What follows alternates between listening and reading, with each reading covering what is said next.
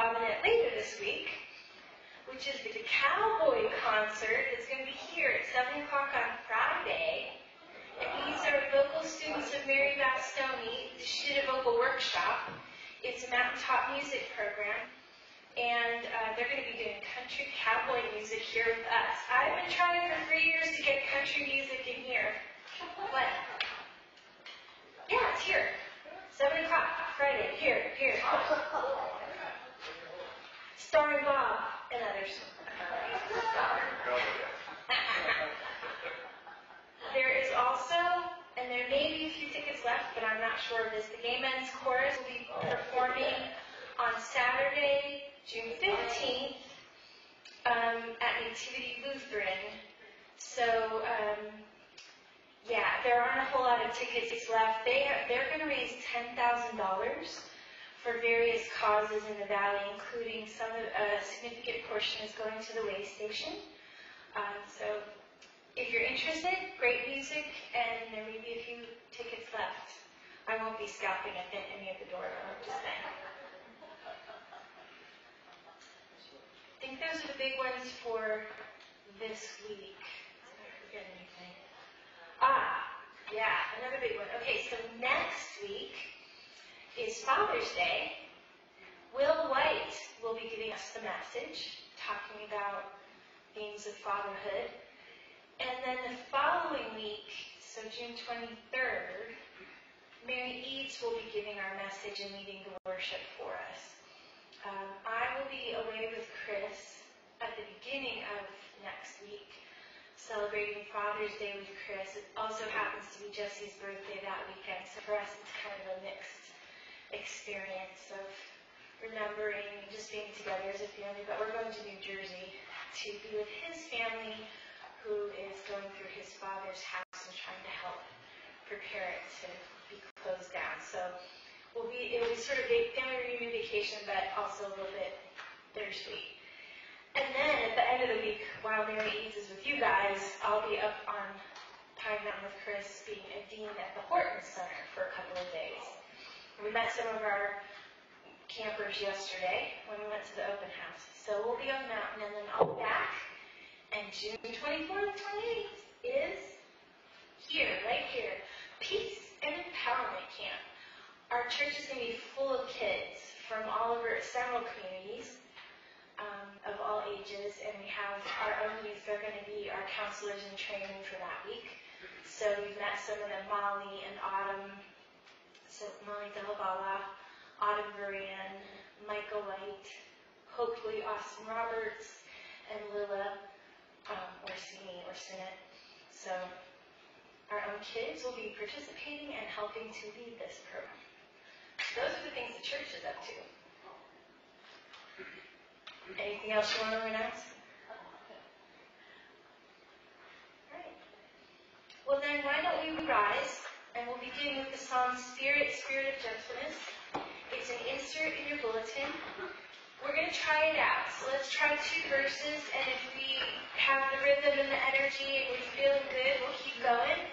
And if it's not our song, then we'll let it go after two stanzas. So you can just watch me we'll make a determination.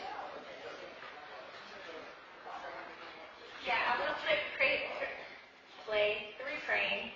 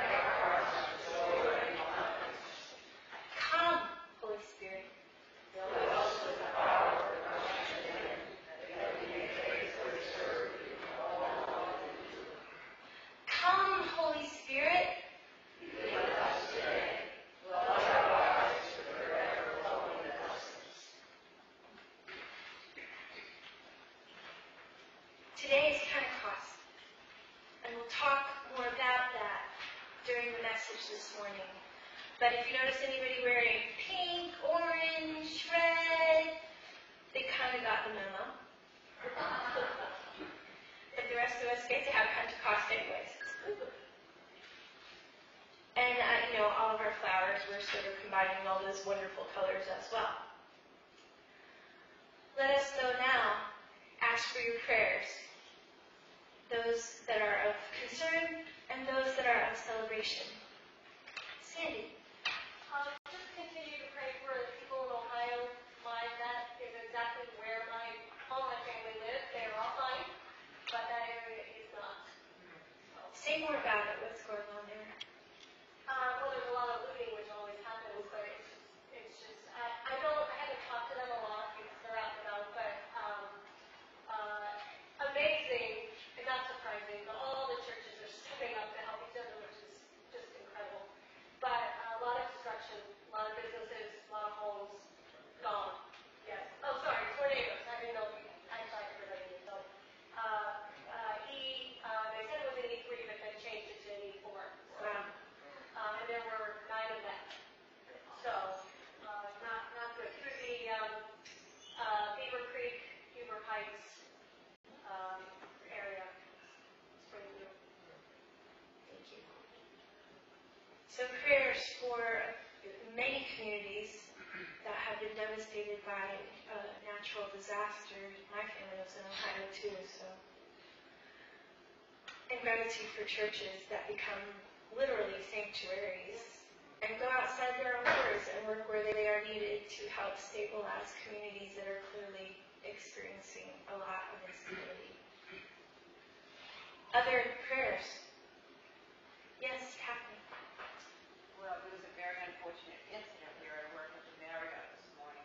A lovely woman who's just a few years younger than I am and has completed seven times in rehab for alcoholism fell apart this morning. It was a major, major incident and left and she, she won't be coming back. But the thing about it is that we think so much about the drug crisis, which we certainly have, but those people who can't shake the alcohol no matter what are still out there.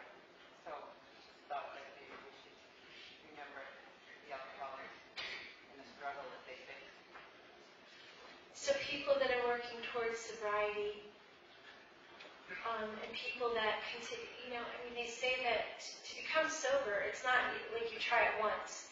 You go again and again and again and again in attempts to become sober, and still sometimes it is a disease. It has a latch on our, literally, our brain chemistry and our body chemistry, and it's invisible, it's hard to see, and creating compassion and sustainable ways of re- remaining sober is a big community effort. We know it's a huge concern in New Hampshire. The governor is actually working with faith communities, among others, to become part of the solution for the opioid crisis. But one of the most ancient forms of addiction continues to be alcoholism.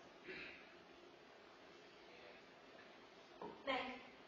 Um, I want to ask for continuing prayers, my family has asked for that for my, um, my sister-in-law who was here last Sunday. Her daughter suddenly came down with this, um, illness and was in some kind of a dizzying type of thing, and she's, she has two little kids at home, she's lying in bed in a dark room, but they went to, um, they went to a specialist the other day, and there is some hope that she'll be able to regain her stability. So prayers for Who is continuing to try to resolve a, an unexpected condition that is making it almost impossible to take care of her family. So the whole family is taking care of her young children while she tries to resolve it. Other prayers? Yes. Well, I would just like to pray for people who suffer from depression and mental illness. Um, uh, that's, uh, Unfortunately, I've had uh, people I know personally, some within my own family, suffer from that. and It's a very difficult thing to uh, to deal with. So, prayers for people that are dealing with mental illness. Prayers for are living with depression and mental illness and suicidality. This is a yet another, a very invisible thing. You can't see it on the outside. And people of all ages live with it. You know, a young man in our own community or our valley who took the life of his mother because he's extremely mentally ill and for a few weeks was not on his own medications and his classmates love him and honor him. He's a good boy, but he did a terrible thing because voices in his head were talking to him. And the person that loves him best isn't in the world anymore to support him. That's an extreme example, but for for insights into mental illness, mental health, the things that keep us in the world and connected, and being able to trust our own minds. Yes, Mike? Prayers for Richard and Jean, what was the story? Yes. So prayers for two people who are happily on the road to recovery from strokes. Richard Augustine is now down on the Cape in rehab, which is where he wanted to be. Um, it, it was delayed by a few days, but he did graduate. Uh, well, out of bed, so I believe he's been transported by now, or he should be transported today if not. So he'll be down in the Cape community, and happily, I actually went to, well, I did my ordination work with, and my chaplaincy work with their minister down in Sandwich, so I know their minister, she's fabulous, so we've been talking back and forth, so he'll have good support all the way around. And Jean Starek is in Portland recovering from her stroke, and um, very lively, and she's keeping everybody on their toes, so everybody knows what she thinks. And we pray also for Mary Burek's family as they, you know, have been through this process of saying goodbye. She died last Saturday, a week ago, so we say goodbye to her. Uh, we welcome a new baby to Mike and Denise Jackson. Baby Miranda Ray was born a couple weeks ago. They went out, they were hoping to be there for the birth, but the baby beat them. And then they were helping take care of all the baby animals so that mom could take care of the human baby because they live on a ranch. And there are always some babies that need taken care of in the livestock. So they were feeding all kinds of other babies. So Miranda Ray got time with them all. Any other prayers for the life of this church, community, the world? Please let us be in prayer.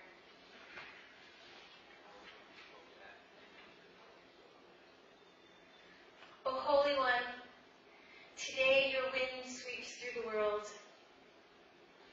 It is not the wind of destruction like the tornadoes, but we ask for your healing in places where destruction has occurred. And we ask where the messes have been made that we remember that we are the ones called to clean them up. Whether they are in our personal lives, our own villages and valleys, or somewhere else in the world, that we are called to be partners as we are able in the care of your creation as well as your children. We ask for healing, ongoing healing, for those who live with difficult diagnoses such as cancer, Alzheimer's, Parkinson's, ALS, so many different conditions, strokes. Some of them we can come back from. Some of them will take us to a place of saying goodbye. And yet they are always a new normal. We are different people when we have these experiences and these diagnoses. Give us the stability and the resilience to look at where we stand in this new and changed circumstance to embrace its possibilities and find ways to have strength and make meaning out of where we are, though our lives and our bodies and our minds have been changed.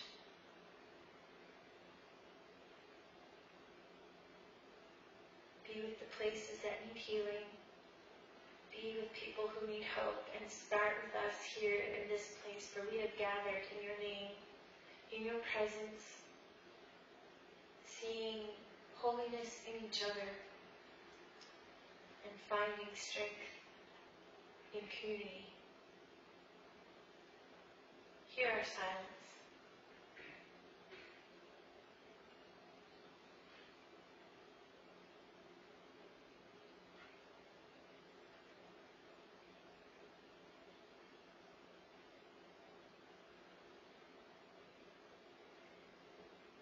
Hear us as we pray together, saying, Our Father, who art in heaven, hallowed be thy name.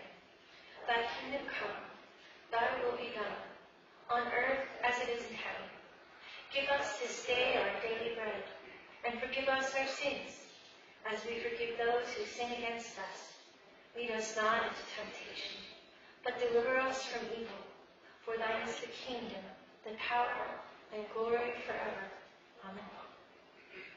Okay, again, it says choral offering. That's next week, not this week, so jump over that. In which case, I would invite Arden to come forward and share with us the scripture.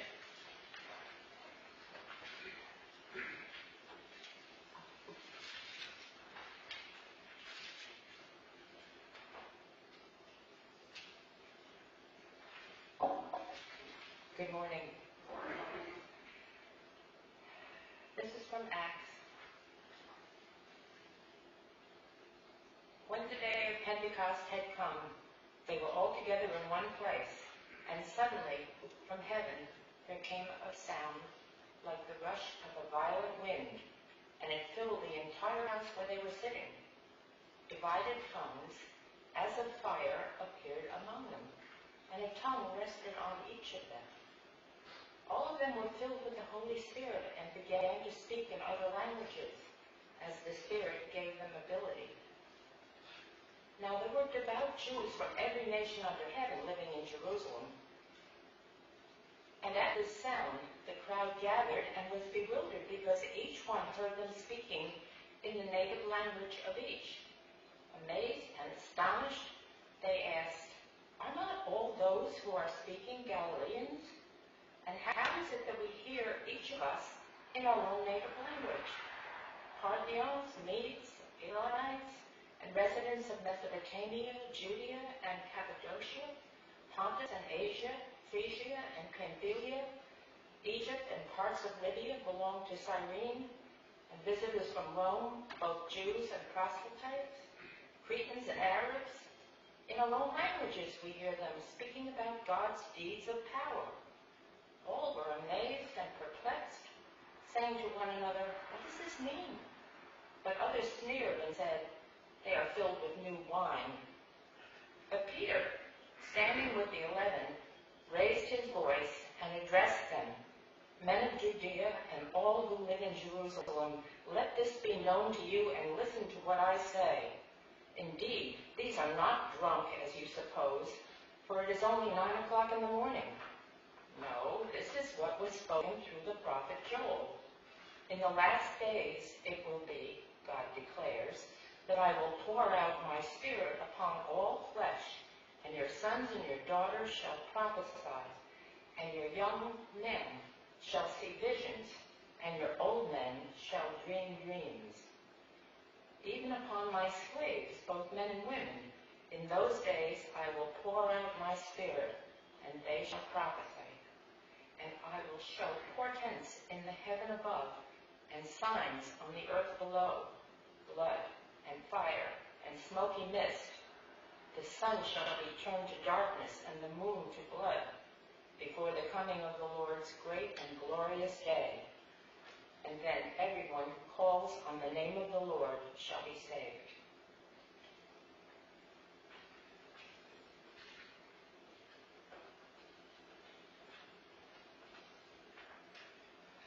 Please pray with me. May the words of and the meditations of all of our hearts be acceptable to you, our rock and our redeemer.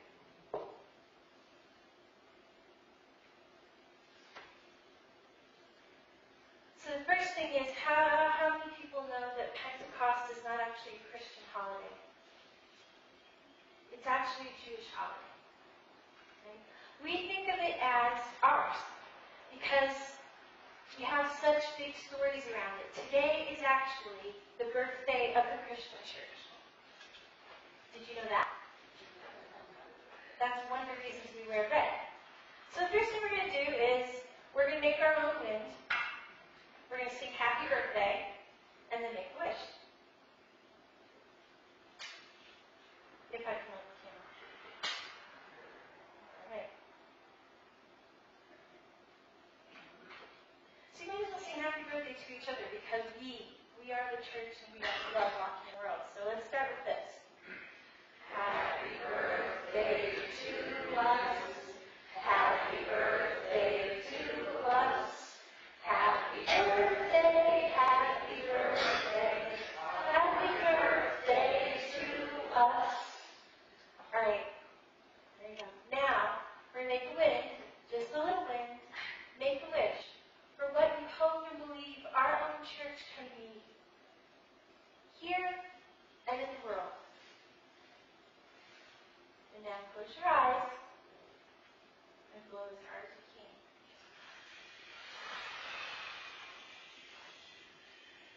Good job.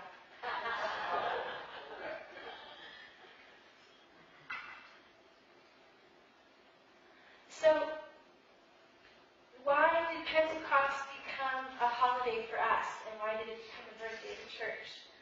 Shavuot is an ancient Jewish pilgrimage, and it is also called Pentecost. It's one of three pilgrimages that were required in the time of Christ, where you go to Jerusalem, you go to the temple, and you are together and you have your festival. And this one was tied to a time of harvest and wheat. So when we talk about the first fruits, the, the first fruits would be given to the temple. They tell the story of Ruth. Do you remember the story of Ruth? Yeah. Ruth is a woman who is no, what, what happened? Tell me about it. You remember a little bit. I bet you know one thing. What, what, do you, what, what do you think of when you think of Ruth? Whither thou goest, I shall go. Thy people shall be thy God. Thy, that's right. Thy people shall be my people. Your God shall be my God. It was crushing grain. Yes, she was threshing grain. That is correct. Her daughter found, her daughter-in-law found her husband there. So this was a bond of two women, right? Who one woman is going back to where she believes she can find sanctuary because her sons had died, and her daughter-in-law is about to go with her. One finally turned back. She tried to rebut them. She didn't want either of them to go with her. And one insisted, Your people shall be my people. Your God shall be my God. I will go with you. Where you go, I shall go. Love that will not be turned away and will go with you everywhere to the threshold. And so in the Jewish community this weekend, they have been reading the book of Ruth and talking about this love that is so resilient, it will not let go.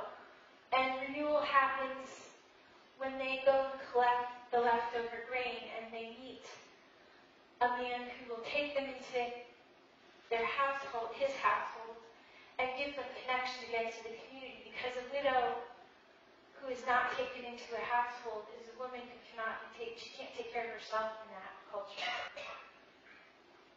So Jesus' followers are going to Jerusalem.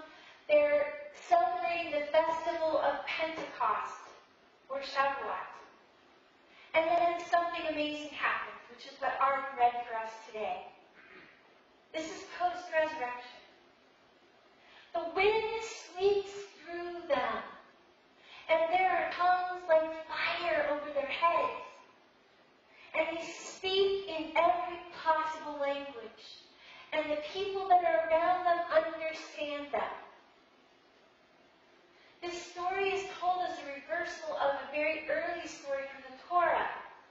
That when the people were dispersed out of the Garden of Eden and they had started to multiply, and they were very smart and they were good engineers, they began building towers they were successful, but God didn't want them to be quite as thriving as they were.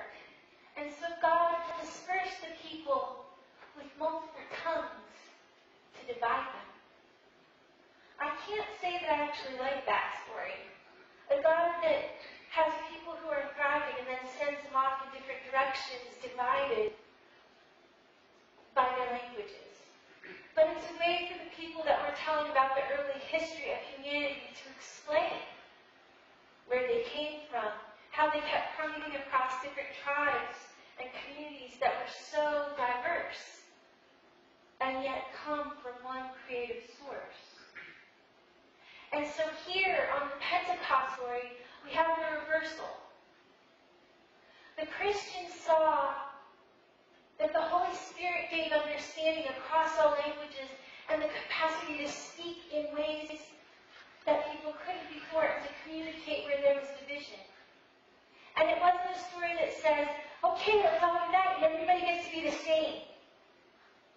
It was a story that said across our diversity is our strength. To each person shall be given gifts, and they will be different.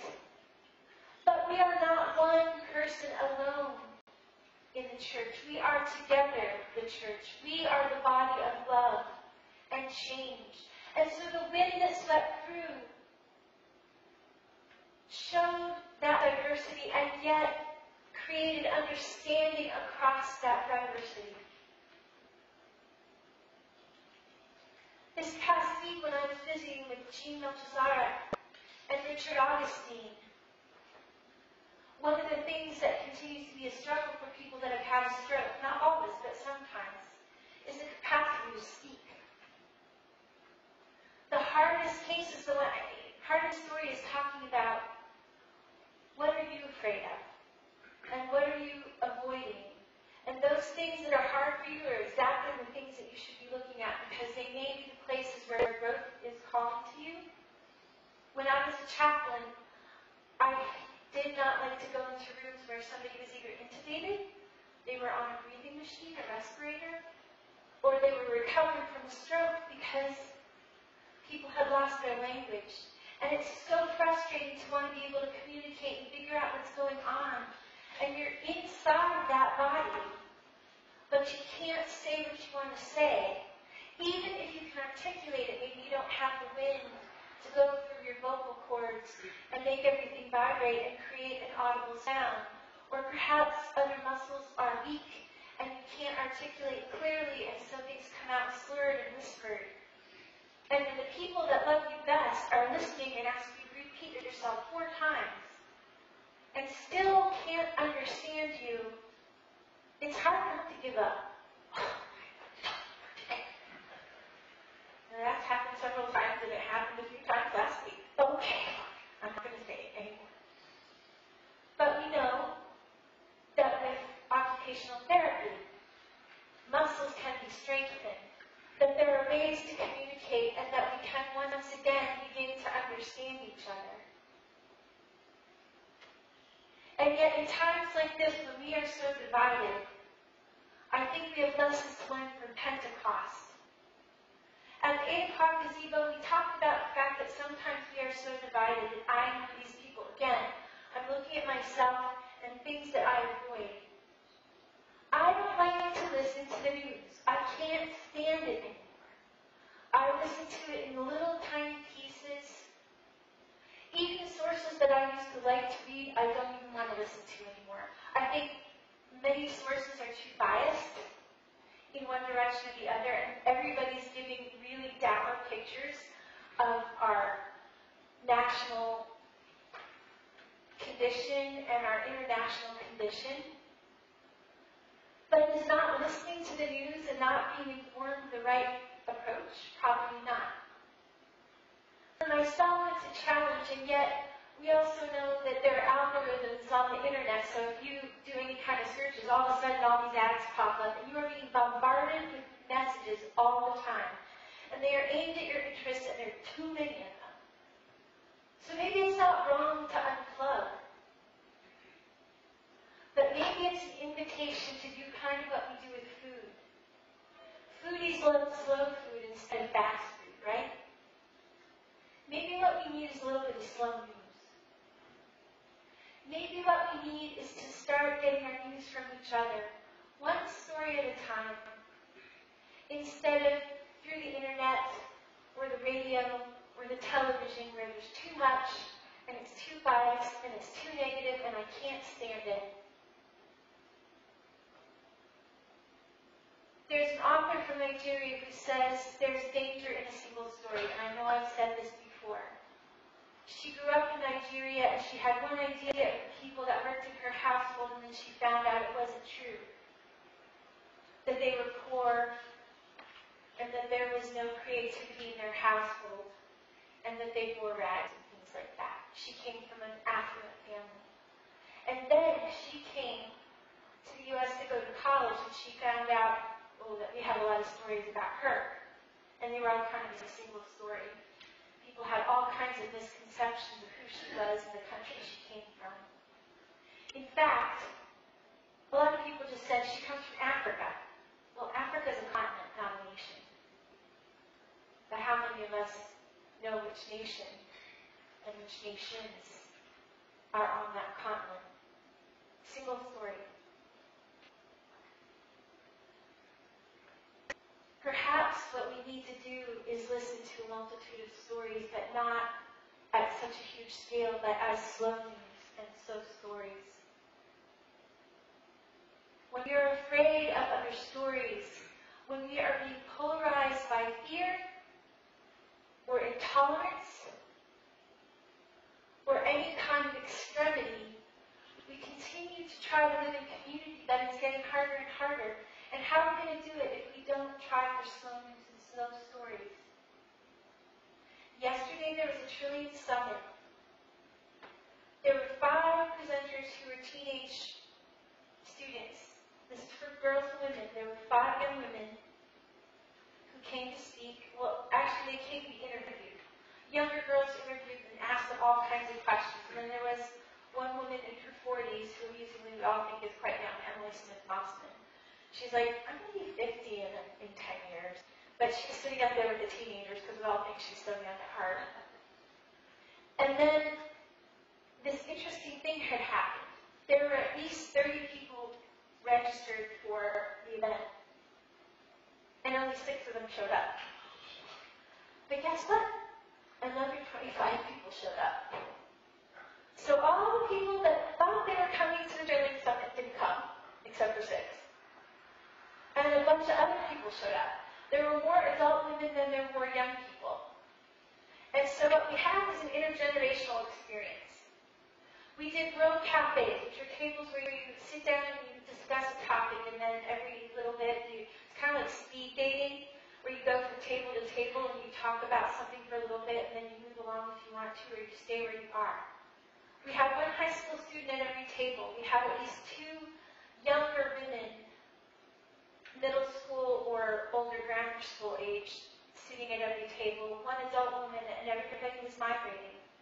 And when I asked the high school students at the end of the Trillium Summit, what was the most meaningful thing that happened today? It wasn't being interviewed by other people, getting to tell their own story. It wasn't listening to Riley Parkhurst, although she was an awesome keynote speaker for us and talked a lot about groundbreaking work that she's doing. It was actually World Cafe.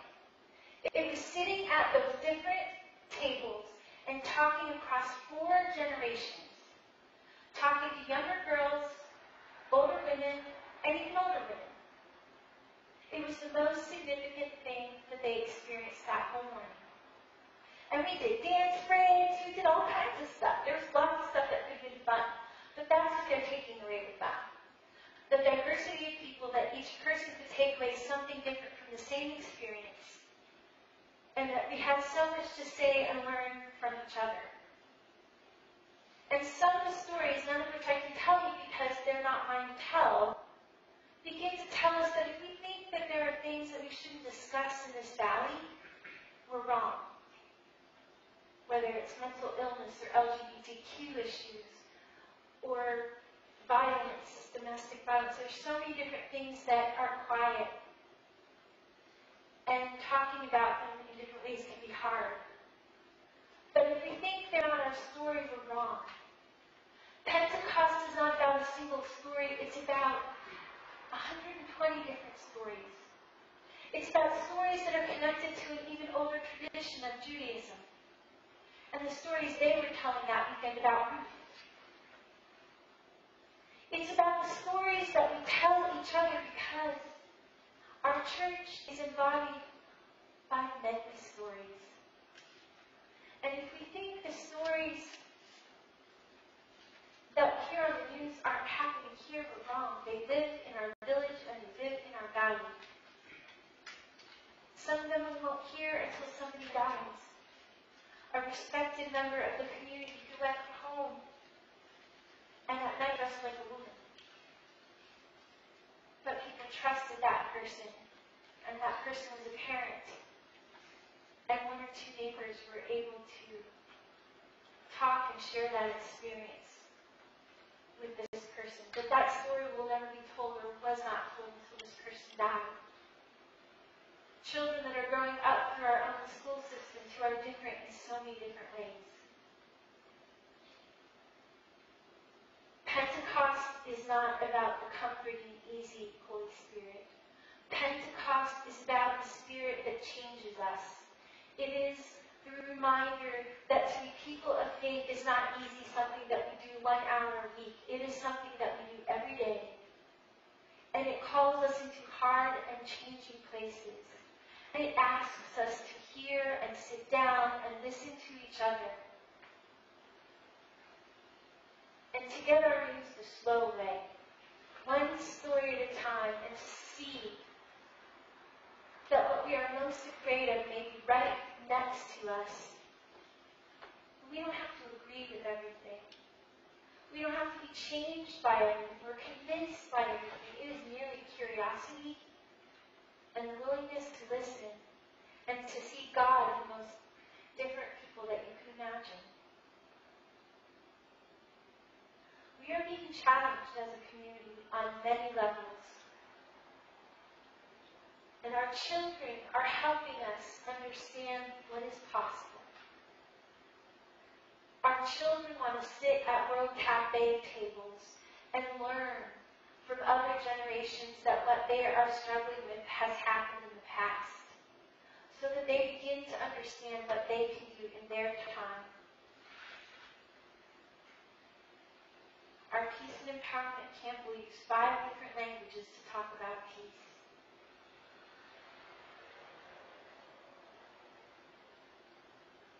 This is the invitation of the birth of our church. 2,000 years ago, people were talking in different languages and trying to find ways to listen to each other. It's not new. It's not a new struggle, but it is our turn. How will we do it? What are we afraid to hear? What will change us? And are we willing to be changed? What will the church be now in this village, this valley, and in our world? We lit a birthday candle. We made a wish. The wish may not be answered in the way that we think it will be. It might surprise us. But we are people of faith and we believe that what is impossible can be made possible. Not just by the Holy Spirit, but by each other. The people that showed up here today are people who are willing to make change and be change in the world. We are the walking answers to the wishes that we have for each other. Happy birthday to us. Thanks be to God. Let's rise for this little light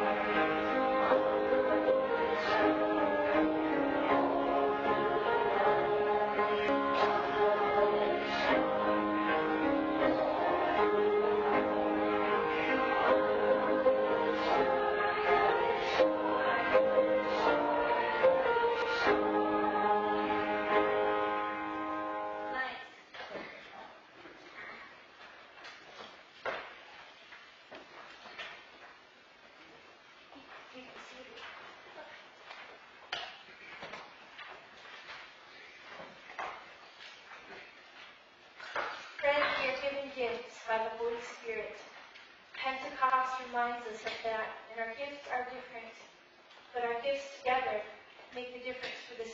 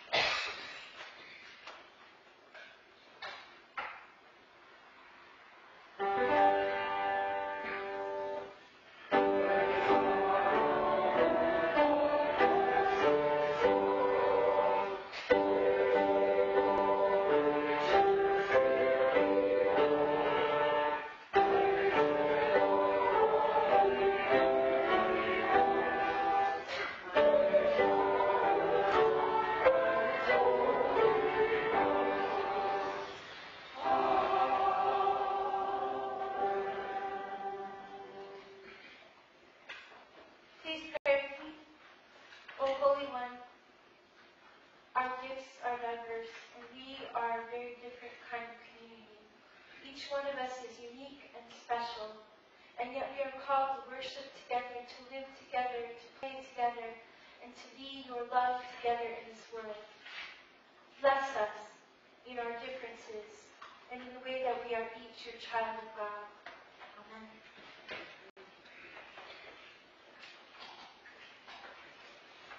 All right, and so our final song is Psalm 407. First person to find it, tell me We'll do all three